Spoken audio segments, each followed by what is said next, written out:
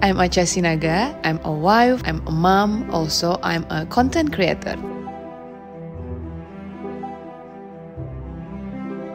Hari ini aku main sama Postim buat ngobrol dan juga sharing tentang journey kehidupan aku.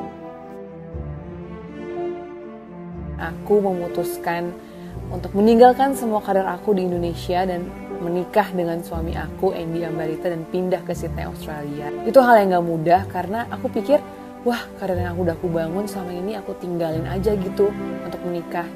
Dan bener aja ternyata Tuhan buka jalan aku malah bisa jadi youtuber. Aku jadi semakin lebih dalam menggali karir aku as a content creator di Sydney Australia sama suami aku Andy.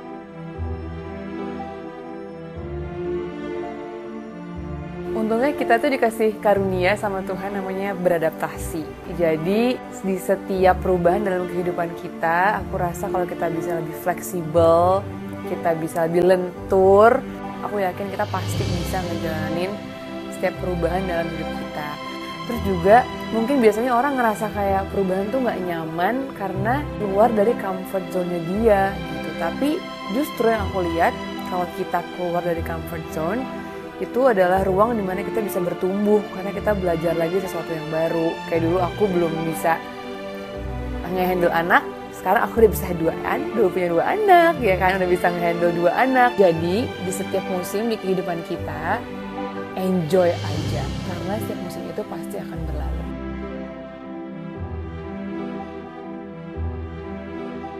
Sometimes aku tuh sering juga ngalamin kalau kita lagi in the hard season di musim yang lagi susah, kita ngeliat kehidupan orang lain, walaupun mungkin kamu ngelihat orang lain musim yang lagi indah, dengan kita fokus sama our rhythm of life kita. Kalau kamu punya visi, aku rasa itu akan lebih cepat ngebantu kita untuk back to our track.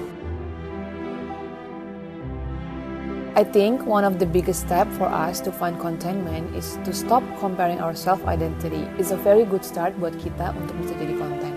So, it's important for me and my faith to sometimes stop and reflect on how far I have come to this day.